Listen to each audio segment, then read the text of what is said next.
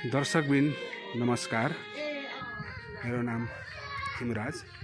म गौमुखी चारदेखि बोलिरहेको छु र आज तपाईँको समक्ष यस पूजा गाउँका सम्पूर्ण झलकहरू देखाउने छु। अहिले म ठुलीबेसी बजारको झलकहरू देखाइरहेको छु र अहिले हाम्रा वडा अध्यक्ष धनीराम विकाको घर र पसलको दृश्यहरू म देखिरहेको छु। अनि उहाँ हुनुहुन्छ धनीरामकी सासूमा। उहाँ उम्मेकी उहाँकी धर्मपति श्रीमती उहाँ हुनुहुन्छ र उहाँको दोकानमा अनेक चिजहरू पाइन्छ दर्शकबिनहरू।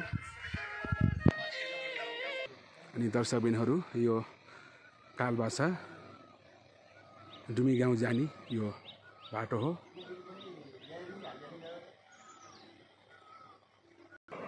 दर्शकबिन अहिले म तपाईँको समक्ष यस गौमुखीको पवित्र जलको दृश्य देखाइरहेको छु। गौमुखीबाट बग बगेर आएका यिनी पवित्र नदी झिमरिक नदी हुन् र पूजाको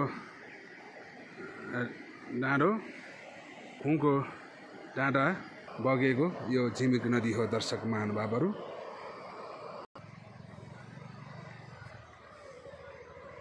दर्शकबिनहरू अब हामी यस